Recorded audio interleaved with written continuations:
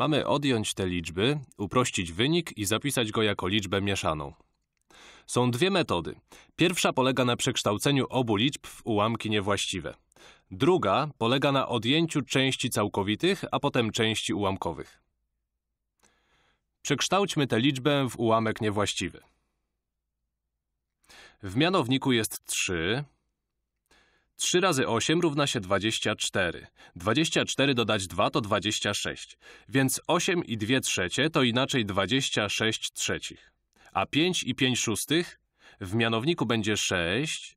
6 razy 5 równa się 30. 30 dodać 5 to 35. Więc to będzie ułamek niewłaściwy 35 szóstych. Sprowadźmy ułamki do wspólnego mianownika. Zauważmy, że obie te liczby dzielą się przez 3. 6 jest najmniejszą wspólną wielokrotnością 3 i 6. Przekształćmy więc pierwszy ułamek do mianownika 6. Aby uzyskać 6, trzeba pomnożyć przez 2, a zatem licznik też mnożymy przez 2. 2 razy 26 równa się 52. Mamy więc 52 szóste minus tego ułamka nie musimy zmieniać. Piszemy minus 35 szóstych. To będzie równe...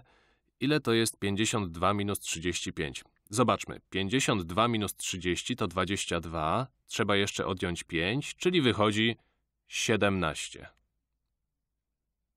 Wynik odejmowania to 17 szóstych. To jest ułamek niewłaściwy. Mamy zapisać go jako liczbę mieszaną. Ile szóstek mieści się w 17? 6 razy 2 to 12, mieści się. 6 razy 3 to 18, za dużo. Wpisujemy więc duże 2. 2 razy 6 to 12, zatem z 17 zostaje jeszcze 5 reszty. Zgadza się? To 5 piszemy nad kreską. 17 podzielić przez 6 to 2 i 5 reszty. Zatem nasz wynik to 2 i 5 szóstych. I zadanie zrobione. To była metoda ułamków niewłaściwych. Czasem liczy się łatwiej, czasem trudniej, ale ta metoda zawsze działa. W zasadzie obie są niezawodne, ale ja wolę tę. Teraz druga metoda. Traktujemy osobno części całkowite i ułamkowe. Najpierw odejmujemy 5 od 8.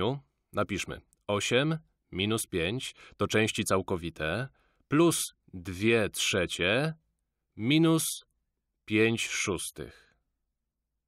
8 minus 5 to jest łatwe, to 3. Tutaj jest trudniej, spróbujmy to policzyć.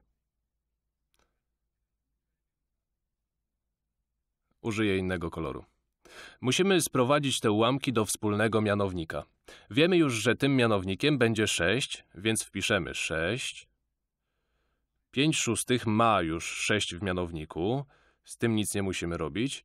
Aby uzyskać szóstkę z trzech, trzeba ją pomnożyć przez 2, więc to samo robimy z licznikiem. Otrzymujemy 4.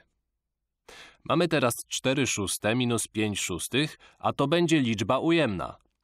Jeśli odejmiemy 5 od 4, otrzymamy liczbę mniejszą niż 0. Co zrobić, jeśli nie chcemy mieć do czynienia z liczbami ujemnymi? Rzecz podobną jak przy odejmowaniu zwykłych liczb, gdy pożyczamy sobie wyższą cyfrę. Chodzi o to, że możemy wykorzystać tę trójkę, właśnie dlatego to czasem bywa skomplikowane. Narysuję linię, żeby dwie metody nam się nie pomieszały.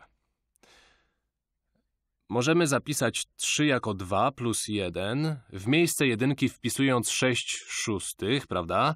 6 podzielić przez 6 to 1, plus 2 równa się 3. A potem dodajemy te dwa wyrazy, plus 4 szóste, minus 5 szóstych. I co nam to dało?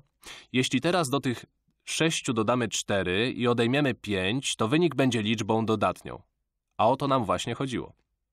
Ta dwójka zostaje, więc mamy 2 plus. I teraz w mianowniku 6, a liczniku 6 plus 4. Zapiszę to. 6 plus 4 minus 5. Ile to będzie? 2 i ile szóstych? Liczymy. 6 plus 4 równa się 10 minus 5 równa się 5.